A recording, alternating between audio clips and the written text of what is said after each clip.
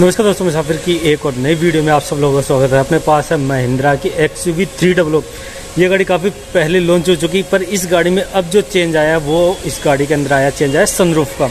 अब सनरूफ के बाद में इस गाड़ी में कितने क्या प्राइस चेंज हो गई, क्या रेट बढ़ गई है, उसके लिए आपको स्क्रीन पर जो नंबर शो कर रहे होंगे, वहाँ पर आप कांटेक्ट कर सके और आपकी इसकी डिटेल वगैरह है, वो आप ले सकते हैं, चाहे प्राइस से रिलेटेड हो या कोई और इन्फॉर्मेशन वगैरह वो भी ले सकते हैं। और उसी के साथ में टेस्ट ड्राइव वगैरह, वो भी आप बुक कर सकते हैं। अगर फ्रंट के डिज़ाइन की बात करें तो कुछ इस तरीके से आपको फ्रंट का डिज़ाइन मिल जाएगा, यहाँ पे आपको क्रोम में लोगो मिल जाएगा ब्लैक पेन फिनिश के साथ में। इसकी ग्रिल है, वो भी आपको मिल जाती है। हेडलाइट की बात करें तो कुछ इस तरीके से आपको हेलोजन सेटअप के साथ में इस गाड़ी की हेडलाइट मिल जाएगी। यहाँ पे आपको इंडिकेटर का ऑप्शन है, वो यहाँ पे ज़रूर दिया गया सेंटर में आपको एक छोटा सा पार्किंग बल्ब है, वो मिल जाता है। डी वगैरह का कोई ऑप्शन नहीं है, उसी के साथ में फोग लैंप है, वो यहाँ पे नहीं दिया गया है, क्योंकि डब्ल्यू यानी सबसे बेस्ट वेरिएंट है। लेकिन अब इससे भी नीचे डब्ल्यू है, वो भी बेस्ट वेरिएंट इस गाड़ी का आ चुका है। जैसे गाड़ी में ऊपर की तरफ़ आते हैं तो आपको यहाँ पे काफ़ी बड़ी विंडशील्ड मिल जाएगी, दो वाइपर मिल जाते हैं, जो नॉर्मल वाइपर आता है, उसी के साथ में वाइपर नोजल मिल जाएँगे, और आपको यहाँ पे ज़्यादा कुछ नहीं मिलने वाला है, क्योंकि सबसे बेस मॉडल है। अब आते पर गाड़ी के टायर की तरफ़ तो कुछ इस तरीके से आपको स्टील रिम के टायर है, वो मिल जाते हैं, और आपको टायर सेक्शन की बात करें तो 205 पैंसठ आर सिक्सटीन इंच के आपको इस गाड़ी के अंदर स्टील रिम है वो मिल जाती है। फ्रंट में डिस्क ब्रेक मिल जाएँगे रियर में आपको ड्रम ब्रेक वो मिल जाएँगे। और उसी के साथ में ग्राउंड क्लियरेंस है वो आपको इस गाड़ी के अंदर मिलने वाली है एक सौ mm, जो एक एस के हिसाब से काफ़ी इनफ है। और साइड वी मिरर की बात करें तो साइड वी मिरर है वो आपको बॉडी कलर के साथ में साइड वी मिरर मिल जाएँगे। उसी के साथ में हैंडल है वो भी आपको इसके अंदर जो बॉडी कलर के साथ में हैंडल है वो मिल जाएँगे पूरी तरीके से वाइट के साथ में। ऊपर की तरफ़ आते हैं तो आपको यहाँ पे ऊपर की तरफ़ एक सन वो मिल जाएगी। अब सबसे बड़ी चीज़ क्या है, इस गाड़ी में जो चेंज किया गया है, वो है सनरूफ का। तो आपको डब्लू फोर में ही आपको सनरूफ देखने के लिए मिल जाएगा और उसी के साथ में आपको रूफ रेल वगैरह है, उसको ऑप्शन ज़रूर दिया गया है। अब चलते हुए गाड़ी के पीछे की तरफ़। जैसे गाड़ी में पीछे की तरफ़ आते हैं तो कुछ इस तरीके से आपको, वही आपको टैलेट मिल जाती है, जो पहले की तरह मिलती है, जो इसमें ज़्यादा कुछ चेंज नहीं किया गया।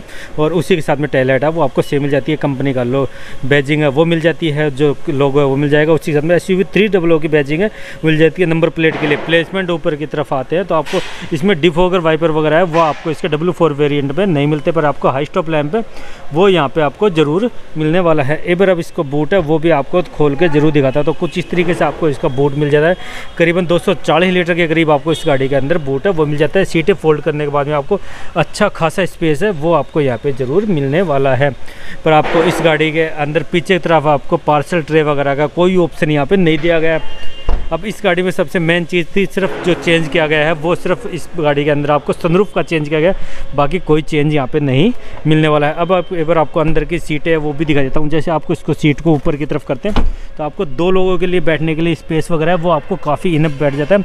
और आपको पीछे की दोनों सीटों पर जो आपको हेड रेस्ट है, वो आपको एडजस्टेबल नहीं मिलता, आपको फिक्स मिलता है। और वहीं आपको आगे की सीट पर जो हेड रेस्ट है, वो आपको एडजस्टेबल मिल जाता है।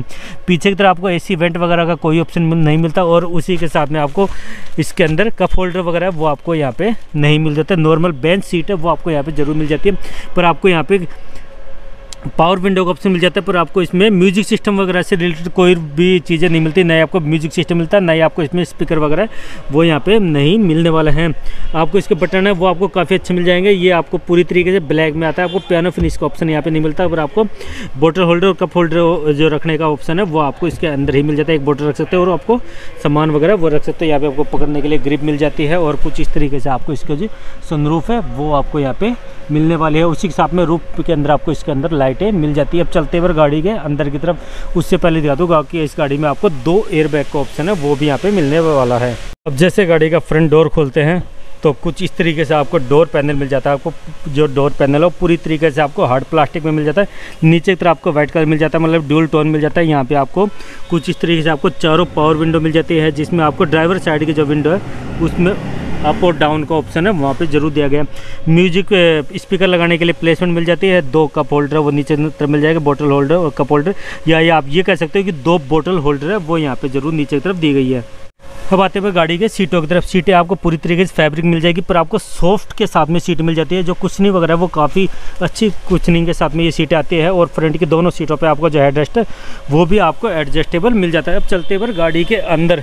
जैसे ही गाड़ी के अंदर आएँगे तो आपको ट्यूटर के लिए प्लेसमेंट है, वो दी गई है, आप ट्यूटर वाफ्ट मार्केट लगा सकते हैं। उसी साथ में हेडलाइट लेवलिंग का बटन स्टार्ट और स्टॉप जो आपने इसके जब क्लच से पैर टाएँगे गाड़ी स्टार्ट होने पे तो ऑटोमेटिक गाड़ी ऑफ़ हो जाएगी, जो रेड लाइट वगैरह उस पर उसी हिसाब में पे आपको ए सी वेंट मिल जाते हैं। अब क्लस्टर मीटर की बात करें तो कुछ इस तरीके से आपको पूरी तरीके से डिजिटल में सेंटर में आपको डिजिटल स्क्रीन है, वो मिल जाएगी और लेफ़्ट और राइट में आपको जो एनोलॉग है, वो आपको स्क्रीन मिल जाती है, जिसमें आपको राइट साइड में आपको स्पीड मीटर है, वो मिल जाएगा। लेफ़्ट साइड में आपको आर मीटर है, वो मिल जाता है, छोटी सी स्क्रीन है, जिसमें आपको ट्रिप मीटर से रिलेटेड जो इन्फॉर्मेशन वो दी गई है। और उसी के साथ में ट्रिप ए बी सी वगैरह वो मिल जाएगा और यहाँ पे आपको टेम्परेचर मीटर है, ये आपको फ्यूल गेज है, वो आपको यहाँ पे दिया गया है। तो कुछ इस तरीके से काफ़ी स्टाइलिश इसमें आपको स्पीडोमीटर है, वो आपको यहाँ पे ज़रूर दिया गया अब आते हैं गाड़ी के सेंटर में। तो जैसे गाड़ी के सेंटर में आए हुए तो म्यूज़िक सिस्टम के लिए आपको प्लेसमेंट दी गई है। आपको इसमें यहाँ पे कोई म्यूज़िक सिस्टम वगैरह वो नहीं मिलता। आपको आफ्टर मार्केट लगाने का ऑप्शन मिल जाता है कि आप आराम से आफ्टर मार्केट वगैरह वो लगा सकते हैं। ऊपर की तरफ़ आपको डैशबोर्ड मिल जाएगा पूरी तरीके से। ब्लैक और हार्ड प्लास्टिक के साथ में इसका डैशबोर्ड आएगा, पर इसकी फिट एंड फिनिश है, वो आपको काफ़ी ज़्यादा प्यारी फिट एंड फिनिश है वो मिल जाती है और उसी के साथ में आपको एयर बैग का ऑप्शन यहाँ पे मिल जाता है और यहाँ पे ट्रिप मीटर वगैरह वो सेट कर सकते हैं और आपको स्टेयरिंग है उसको भी आप हार्ड या जो जो भी आपका लेवल होता है जैसे स्पोर्ट्स मोड के हिसाब से भी आपको स्टेयरिंग वगैरह वो सेट कर सकते हैं।